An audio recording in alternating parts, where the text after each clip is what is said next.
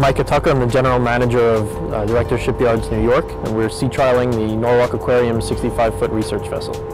This is full running RPM right now, and uh, we're experiencing very low levels of sound because we're only seeing or using electric power.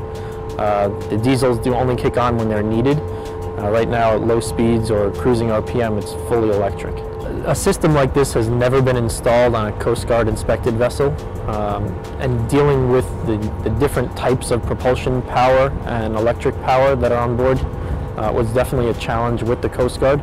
Uh, they were very willing and eager to work with us in order to develop the appropriate standards. Um, but because it had never been done before, trying to adapt existing Coast Guard standards to a totally different type of system was very difficult.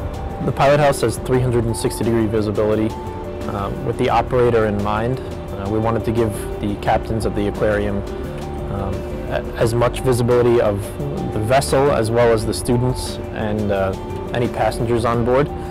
So they have integrated CCTV system uh, as well as the 360 degree visibility inside.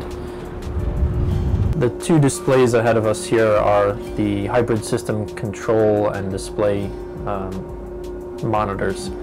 They output all all information about the hybrid system, including the battery state of charge, shaft RPM, um, generator status, battery voltage, anything that you need to know is all displayed on this screen, as well as system alarms and maintenance items. The classroom is set up to be configurable for any type of operation.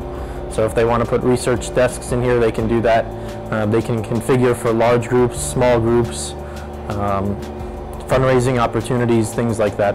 Uh, anything they want to do with the classroom, it's made to be able to, to be reconfigured. In the engine rooms, you have um, a very uh, atypical arrangement. The diesel generator is located aft in the space, uh, and it's not your typical uh, diesel-electric system. Um, the generator is a variable speed, so it's got a much smaller electrical generating element than what you'd normally see on the back of a diesel. If you compare this to a typical installation where you have a propulsion engine as well as a diesel generator, uh, this takes up a much smaller footprint because the electric motor is much smaller than a typical uh, diesel engine for propulsion. We hope this, uh, this gives the industry a wake-up call, um, showing them that they don't, they don't need uh, you know, an exorbitant amount of money in order to be forward thinking and, and uh, you know, environmentally concerned at the same time. They're able to do it in a reasonably small package um, for a marginally higher cost uh, and you know, get a reliable system that helps them increase their, uh, their capabilities.